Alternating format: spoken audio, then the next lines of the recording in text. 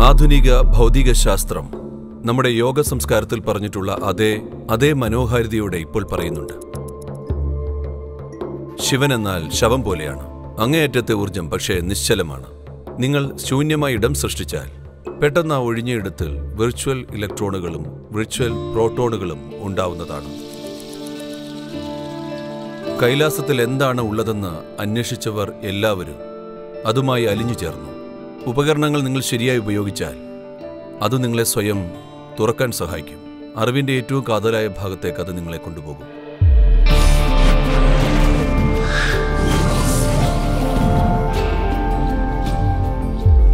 ശൂന്യതയെ സാധാരണയായി നെഗറ്റീവായി കാണുന്നു. ഇതൊരു നെഗറ്റീവ് പ്രയോഗമാണ്.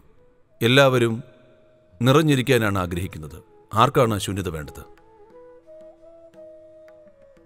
എന്നാൽ നിറവ് തേടിയുള്ള യാത്രയിലാണ് ആളുകൾ സ്വയം നശിച്ചിട്ടുള്ളത്. പറയൂ. എത്ര രൂപയാണ് നിങ്ങളുടെ പോക്കറ്റ് നിറയ്ക്കാൻ ആവശ്യമായിട്ടുള്ളത്? ഒരു നൂറ് കോടി കൊണ്ട് അത് നിറയ്ക്കാൻ കഴിയുമോ? ഒരു ആയിരം കോടി രൂപ ഇട്ടാൽ അത് നിറയ്ക്കാൻ കഴിയുമോ? ഇല്ല.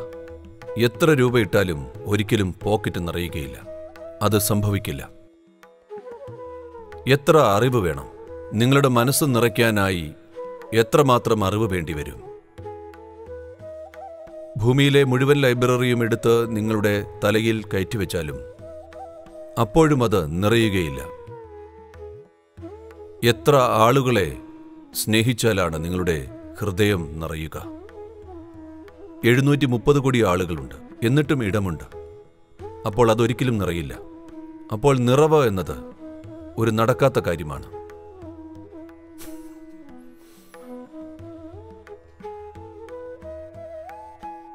ശൂന്യത എപ്പോഴും പരിപൂർണമാണ്. കൃഷ്ണൻ ഇത് വളരെ മനോഹരമായി പറയുന്നുണ്ട്. അർജുനൻ ചോദിച്ചു ഈ സത്യത്തിന്റെ സ്വഭാവം എന്താണെന്ന്? കാരണം ഞാൻ അത് ഇതാണോ എന്ന് ചോദിച്ചാൽ അങ്ങ് പറയും അതേന്ന്. അതാണോ എന്ന് ചോദിച്ചാൽ അങ്ങ് പറയും അതെ. കുറച്ചു കഴിഞ്ഞ് അത് ഇതാണോ എന്ന് ചോദിച്ചാൽ അങ്ങ് പറയും അല്ല എന്ന്. അതാണോ എന്ന് ചോദിച്ചാൽ അങ്ങ് പറയും അല്ല. ശരിക്കും എന്താണ് സത്യത്തിന്റെ സ്വഭാവം? അതെവിടെയാണ് എങ്ങനെയാണ്? അതിന്റെ രൂപം എന്താണ്?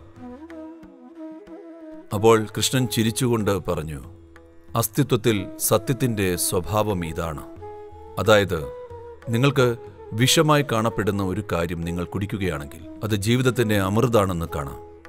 അമൃതായി കാണപ്പെടുന്ന ഒരു കാര്യം നിങ്ങൾ കുടിക്കുകയാണെങ്കിൽ അത് വിഷമാണെന്നും കാണാം. പറയൂ നിറവ് തേടിയുള്ള യാത്രയിൽ മനുഷ്യരാശി മുഴുവൻ വിഷമയമായി മാറിയില്ലേ? നിറവ് തേടിയുള്ള യാത്രയിൽ അവർ ഭൂമിയെ വെട്ടിമുറിച്ചില്ലേ? നമ്മൾ ശിവ എന്ന് പറയുമ്പോൾ ഇല്ലാത്തതെന്തോ അതിനെയാണ് നമ്മൾ പറയുന്നത്. അതിന്റെ അർത്ഥം അവിടെ ഒരു പാത്രമില്ല. അത് ഏതെങ്കിലും ഒരു പാത്രത്തിൽ ഒതുങ്ങുന്ന കാര്യമല്ല ഒരു പ്രാപഞ്ചികമായ പാത്രത്തിൽ പോലും. ഈ പ്രപഞ്ചം പോലും ശിവന്റെ മടുത്തട്ടിലാണ് സംഭവിക്കുന്നത്. കാരണം അതില്ലാത്തതെന്തോ അതാണ്. ഒരാൾ അത് തിരിച്ചറിയുമ്പോൾ അല്ലെങ്കിൽ അനുഭവിച്ചറിയുമ്പോൾ നമ്മൾ അയാളെയും ശിവൻ എന്ന് വിളിക്കുന്നു. അതുകൊണ്ടാണ് ആദിയോഗിയും ശിവൻ എന്നറിയപ്പെട്ടത്. കാരണം അദ്ദേഹം ആ തലത്തെ സ്പർശിച്ചു അതുമായി ഒന്നായി തീർന്നു. പിന്നെ അതിനെ അറിയാനുള്ള ആകെ ഒരു മാർഗം. അതിലേക്ക് അലിയുക എന്നത് മാത്രമാണ്. അതിനെ വലിച്ചെടുക്കുക എന്നല്ല. അതിനെ വലിച്ചെടുക്കാൻ കഴിയില്ല. ഒരുപാട് കഥകളുണ്ട്. ഇവയെല്ലാം സംഭവിച്ച കാര്യങ്ങളാണ്. കൈലാസത്തിൽ എന്താണ് എന്നറിയാൻ ശ്രമിച്ചവരെല്ലാം അതുമായി അലിഞ്ഞു ചേർന്നു. ഞാൻ പതിനാല് വർഷം മുമ്പ് ആദ്യമായി കൈലാസത്തിലേക്ക് പോയപ്പോൾ അതിനുശേഷം എല്ലാ വർഷവും ഞാൻ അവിടെ പോകാറുണ്ട്. ആദ്യത്തെ രണ്ട് മൂന്ന് പ്രാവശ്യം ഞാൻ അവിടെ പോകുമ്പോൾ അവിടെ സംഭവിക്കുന്ന ആ മഹത്തായ പ്രതിഭാസം കണ്ടപ്പോൾ ഞാൻ കുറച്ചുപേരുമായി പദ്ധതിയിട്ടു നമുക്ക് അവിടെ പോയി കുറച്ചു ദിവസം താമസിക്കാം. എന്ത് കുന്തമാണ് അവിടെ സംഭവിക്കുന്നതെന്ന് അറിയണമല്ലോ.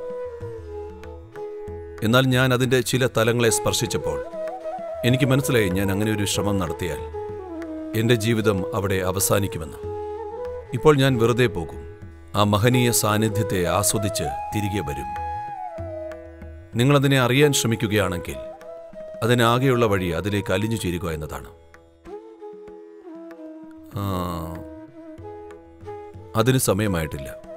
ശിവൻ എന്നാൽ അതിങ്ങനെ മനോഹരമായി വിവരിക്കപ്പെട്ടിട്ടുണ്ട് ഇന്ന് ആധുനിക ആധുനിക ഭൗതിക ശാസ്ത്രം ഇന്ന് പറയുന്നു. നമ്മുടെ യോഗ സംസ്കാരത്തിൽ പറഞ്ഞിട്ടുള്ള അതേ മനോഹാരിതയോടെ.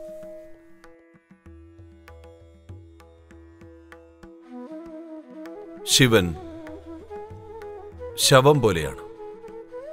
ശവം എന്നാൽ മൃതശരീരം അതായത് നിശ്ചലമാണ്. ചലനമില്ലാത്തത് നിശ്ചലമായത്. അങ്ങേയറ്റത്തെ ഊർജം പക്ഷെ നിശ്ചലമാണ്. അപ്പോൾ കഥ ഇങ്ങനെയാണ്. ശിവൻ അവിടെ കിടക്കുകയായിരുന്നു. ശക്തി അവൾ അവനിൽ നിന്നുണ്ടായതാണ്. അവൾ വന്ന് നൃത്തം ചെയ്യാൻ തുടങ്ങി. പെട്ടെന്ന് അവൻ എഴുന്നേറ്റു. കാരണം അവന്റെ ശരീരത്താണ് അവൾ നൃത്തം ചെയ്തത്. ശിവൻ അലറിക്കൊണ്ട് എഴുന്നേറ്റു.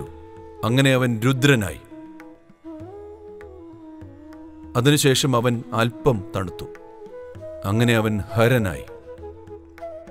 പിന്നെ അവൻ ശരിക്കും ശാന്തനായി. തന്റെ അനന്തമായ സ്ഥിരതയുടെ അവസ്ഥയിലേക്ക് പോയി. അവൻ സദാശിവനായി മാറി. അതായത് എപ്പോഴും ശിവൻ. അപ്പോൾ അതിന് സമാന്തരമായ ഒരു കാര്യമുണ്ട്. ഇന്ന്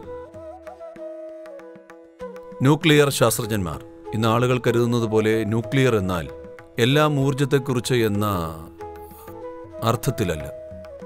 അടിസ്ഥാന ഭൗതിക ശാസ്ത്രം ഇങ്ങനെ പറയുന്നുണ്ട് നിങ്ങൾ ശൂന്യമായൊരു ഇടം സൃഷ്ടിച്ചാൽ. അതായത് യാതൊന്നും തന്നെ ഇല്ലാത്ത ഇടം. അതിന്റെ അതിന്റെ ഉള്ളിലല്ല അതിനു ചുറ്റും നിങ്ങൾ ഒരു ഇലക്ട്രിക് ചാർജ് കൊണ്ടുവന്നാൽ പെട്ടെന്ന് ഒഴിഞ്ഞയിടത്തിൽ വിർച്വൽ ന്യൂട്രോണുകളും വിർച്വൽ പ്രോട്ടോണുകളും സൃഷ്ടിക്കപ്പെടുന്നതാണ്. യാതൊന്നുമില്ലാത്ത ശൂന്യമായ ഒരിടത്ത് ഇലക്ട്രിക് ചാർജ് പോലുമില്ല. ഇലക്ട്രിക് ചാർജ് അതിന് ചുറ്റുമാണ് പ്രവഹിക്കുന്നത്. ഇതു കാരണമായി വിർച്വൽ ന്യൂട്രോണുകളും വിർച്വൽ പ്രോട്ടോണുകളും ഉണ്ടാവുന്നു. അതായത് തീർത്തും ശൂന്യമായ ഇടത്തിൽ നിന്ന് എന്തെങ്കിലും സൃഷ്ടിക്കുക എന്നത് സാധ്യമാണ്. അപ്പോൾ പരമ്പരാഗതമായി നമ്മൾ പറയുന്നത് ശിവൻ പൂർണമായും നിശ്ചലമായി കിടക്കുകയായിരുന്നു. നിങ്ങൾ കണ്ടിട്ടുണ്ടാവും ഇന്ത്യയിൽ അത്തരം ചിത്രങ്ങളുണ്ട്. ശിവൻ ഇങ്ങനെ കിടക്കുകയാണ്. ശക്തി അവന്റെ നെഞ്ചിൽ കയറി നിന്ന് നൃത്തം ചെയ്യുന്നു. ഇത്തരമൊരു ചിത്രമാണ് അവർ സൃഷ്ടിച്ചത്. ഊർജ സാന്നിധ്യമുണ്ടായപ്പോൾ ഈ നിശ്ചലമായ ഒഴിഞ്ഞ ഇടം ചലനാത്മകതയിലേക്ക് പൊട്ടിത്തെറിച്ചു. ഒരലർച്ചയോടെ. അങ്ങനെ അദ്ദേഹത്തെ രുദ്രൻ രുദ്രൻ എന്ന് അറിയപ്പെട്ടു. ഇത് നിർഭാഗ്യകരമാണ്. ഏതു കാര്യവും അസ്തിത്വത്തിൽ നിന്നും ശാസ്ത്രം ഊറ്റിയെടുക്കുന്ന വിവരങ്ങളുടെ കഷണങ്ങൾ ഉപയോഗിച്ചുകൊണ്ട് തീർച്ചപ്പെടുത്തേണ്ടി വരുന്നു എന്നത്. അത് നല്ലതാണ് സാങ്കേതിക വിദ്യകൾക്ക് പക്ഷേ ആത്മജ്ഞാനത്തിന് അത് ഉതകില്ല. ലോകത്തിലെ ഉന്നത ശാസ്ത്രജ്ഞന്മാർക്ക് അറിയാം അവരൊന്നും അറിഞ്ഞിട്ടില്ല എന്ന്. ഇവിടെയുള്ള ചില ടെക്സ്റ്റ് ബുക്ക് സയന്റിസ്റ്റുകൾക്കാണ് എല്ലാം അറിയാമെന്ന വിചാരമുള്ളത്. ലോകത്തിലെ ഉന്നതരായ ശാസ്ത്രജ്ഞന്മാർ അവർക്കൊന്നും അറിയില്ല എന്ന് മാത്രമല്ല ഇനി അങ്ങോട്ട് അറിയാൻ കഴിയുകയുമില്ല എന്നാണ് അവർ പറയുന്നത്. കാരണം പരിവേഷണം ചെയ്യാനുള്ള ഇപ്പോഴുള്ള ഉപകരണങ്ങൾ നോക്കുമ്പോൾ അവർക്കറിയാം അതിന്റെ പരിമിതികൾ. ഉപയോഗങ്ങൾ നിങ്ങൾക്ക് പരിവേഷണം ചെയ്യാം. നിങ്ങളുടെ കയ്യിലുള്ള മാർഗങ്ങൾ ഉപയോഗിച്ച് എല്ലാത്തിനെയും അറിയുക എന്നത് സാധ്യമല്ല. നിങ്ങളത് അറിയാൻ ശ്രമിക്കേണ്ട. നിങ്ങൾ അതിലേക്ക് വന്നു ചേരണം. നിങ്ങൾ ആഴത്തിൽ ആഴത്തിൽ അതിലേക്ക് അലിഞ്ഞു ചേരുമ്പോൾ അത് അറിവിന്റെ ഏറ്റവും കാതലായ ഭാഗത്തേക്ക് നിങ്ങളെ എത്തിക്കും. എന്ന് എത്ര പെട്ടെന്ന് എത്ര വർഷമെടുക്കും? അങ്ങനെ ഒരു കാര്യമില്ല. നിങ്ങൾക്ക് വേണ്ടത്ര തീവ്രതയുണ്ടെങ്കിൽ അതിനൊരു നിമിഷം മതി. അല്ലെങ്കിൽ അതിന് നൂറ് ജന്മങ്ങൾ എടുക്കും. തീവ്രതയുടെയും ശ്രദ്ധയുടെയും അളവിന് അളവിനനുസരിച്ച് സമയം എന്നത് ആപേക്ഷികമാണ്. ഇപ്പോഴുള്ള പ്രശ്നം ഇതാണ്. അതായത് അതായത് നിർഭാഗ്യവശാൽ നമ്മുടെ വിദ്യാഭ്യാസം മുഴുവനും ദിക്ഷണയെ കേന്ദ്രീകരിച്ചാണ്. അത് നമ്മുടെ ബുദ്ധിയുടെ ഒരു തലത്തെ മാത്രമാണ് മെച്ചപ്പെടുത്തുന്നത്. അതിനെയാണ് ദിക്ഷണ എന്ന് വിളിക്കുന്നത്. അക്കാരണം കൊണ്ട് എല്ലാത്തിനെയും നമ്മൾ യുക്തി കൊണ്ട് അറിയാൻ ശ്രമിക്കുന്നു. അത് തന്നെ ഒരു വലിയ തടസ്സമാണ്. നിങ്ങളുടെ സ്വന്തം യുക്തിയുടെ തടവറയിൽ കഴിയുന്നിടത്തോളം. ജീവിതത്തിന്റെ മാന്ത്രികത നിങ്ങൾക്കായി വെളിപ്പെടുകയില്ല. അതുകൊണ്ടാണ് ഈ പ്രക്രിയ ഇത്തരത്തിൽ രൂപകൽപ്പന ചെയ്തിരിക്കുന്നത്. നിങ്ങൾ വെറുതെ ഇരിക്കുക. നിങ്ങൾ എങ്ങോട്ടും പോകേണ്ടതില്ല. വെറുതെ അതിലേക്ക് വന്നു ചേരാൻ നിങ്ങൾ അനുവദിച്ചാൽ മാത്രം മതി. ആന്തരികമായി വന്നു ചേരേണ്ട ഇടത്തിലേക്ക് നിങ്ങൾക്കൊരിക്കലും വഴിതെറ്റില്ല അല്ലേ?